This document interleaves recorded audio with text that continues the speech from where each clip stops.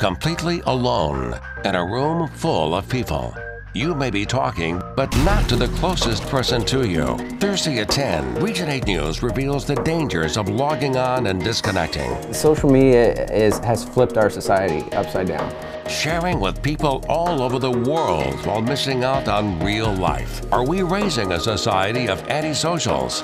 A Region 8 News special report, Thursday at 10.